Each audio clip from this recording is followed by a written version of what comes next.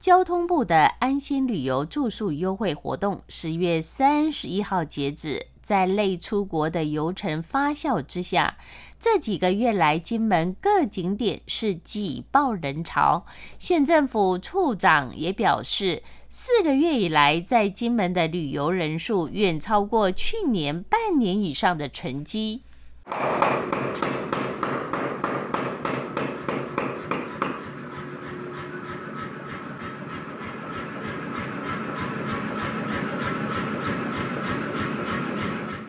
观光处处长丁建刚十月三十一号受访，感谢交通部大力支持，使金门安心旅游开出亮丽成绩。四个月以来，来金门旅游的人数远超过去年半年以上的成绩。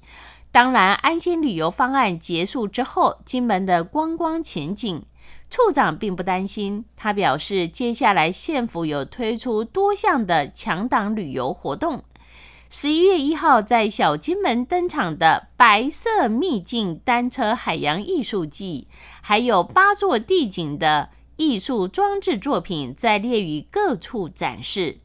他说，这是台湾地区第一次以全岛旅游方式来计划，以列屿地方文化为主体，透过地景艺术、单车漫游、国际级的艺术表演等等的多元旅游形态。呃，这次呢，非常谢谢交通部观光局呢大力的支持，然后使得我们的安心旅游呢开出非常好的一个成绩。我们在四个月内之内就非呃突破了去年整个半年以上的一个成绩，那这是非常好的一个表现。那接下来呢，随着呢我们安心旅游结束之后呢，那我们金门这边呢也推出了四项强档的一个活动。包含了呢，我们的强档活动坑道音乐节也即将登场。那我们一直都有在举办了非常多老兵回乡的老兵召集令，那以及我们的呃从十一月一号开始哦所在列屿所举办的海洋艺术季，那还有在我们的阳宅有一个乐高的一个主题活动，那相信呢都可以带给大家非常丰富呃非常丰富非常有趣的一个旅程。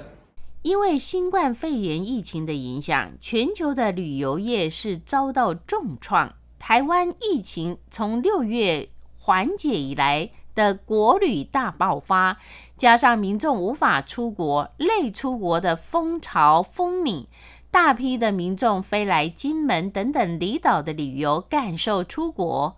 金门大街小巷各景点满满都是人潮。七月中，中央。交通部又寄出安心旅游住宿优惠活动，所以离岛又加码补助，也造成金门旅游的大爆发。